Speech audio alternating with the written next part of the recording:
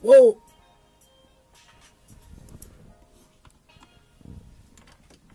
Hold on. Why? Why? Why? Why? Why? Eh? Why? Why?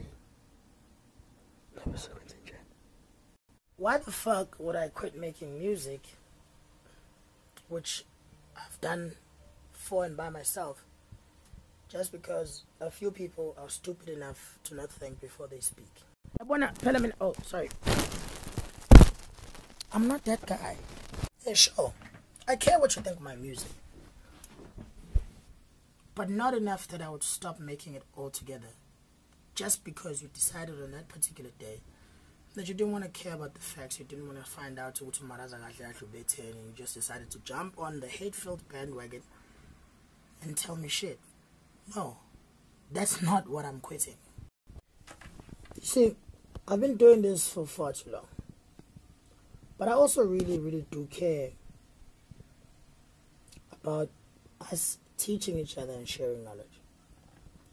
So, what I really said, I'm quitting, is trying to convince you that what you think is actually wrong and trying to show you what the right thing is.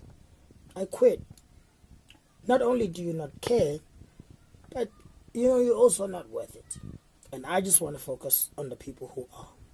So, now, to all my supporters, whether no 3 or 3 million, I'll never quit making music. I am just going to quit trying to explain myself, especially when I know that I've done or said nothing wrong. That's why I am dropping 6, the music video, as soon as YouTube is done uploading it.